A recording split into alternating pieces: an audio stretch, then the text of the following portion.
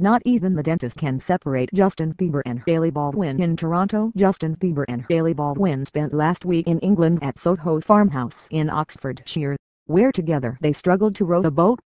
But that London trip came to an end, and, as a newlywed couple who has been basically inseparable since they started dating in June, Baldwin and Bieber left Europe.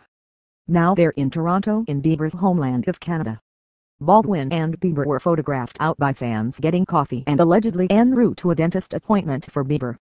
Baldwin wore a giant fluffy jacket. Baldwin, at this point, has accompanied Bieber to haircuts, tattoo appointments, his regular doctor, and the dentist now, it seems. Nothing can separate them dot dot dot at least until they call Bieber's name in the waiting room.